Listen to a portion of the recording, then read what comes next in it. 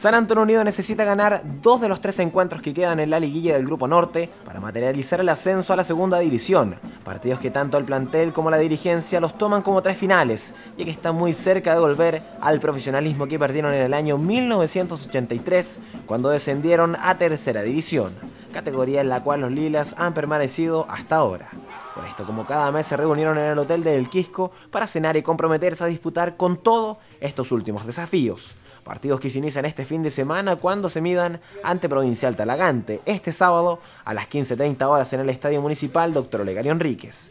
Desafío que ya tienen en la mira para afianzarse en la liguilla. Son partidos que son importantísimos, que, que nosotros necesitamos este fin de semana, lo, lo que nos convoca y lo que nos preocupa es dejar los puntos frente a Talagante. En cuanto a los jugadores lesionados, uno ya se despidió del plantel. Se trata de Alonso Zúñiga que tras una fuerte lesión en su espalda está totalmente descartado, baja considerable ya que Zúñiga era el capitán y pilar de la defensa pero su complicación lo alejó de toda esta temporada. Alonso tiene una lesión a la columna, tenemos un certificado médico y ante eso nosotros no podemos decir nada, entonces Alonso tampoco podía, podía, podía tomar otra decisión que no es la que dice el médico. En cuanto al otro lesionado, este es el portero Gonzalo Moll, quien tiene fracturado el quinto metatarsiano, es decir, el dedo pequeño del pie, lesión que lo alejará de las canchas en dos meses, por lo cual este cancerbero podría volver a la parte final del campeonato, esto si los lilas siguen avanzando. Tenemos una lesión de John Agüero,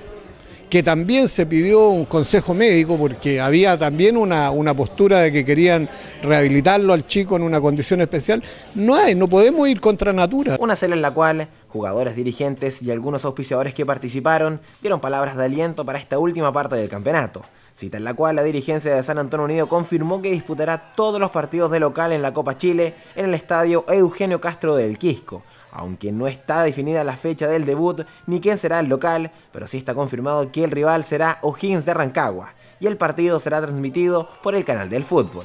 Aunque para su director técnico Milton Flores tienen todas las expectativas en los partidos de la liguilla y en el anhelado ascenso al profesionalismo. Seguimos siendo eh, muy claros y muy, muy definitorio en algo, el, campeonato importante es el de tercera división. Dos desafíos que tienen los Lilas y que esperan nuevamente el apoyo del público que han recibido tanto en calidad de local como también de forastero con muchos hinchas acompañando a los Lilas en su periplo en busca del ascenso. Por esto desean seguir con el apoyo en estos últimos partidos, en los que será clave el aliento del público, para hacer sentir la localía a Provincial Talagante, líder del torneo, cuando este sábado a las 15.30 horas comienza a rodar la pelotita en el Estadio Municipal Dr. Olegario Enríquez.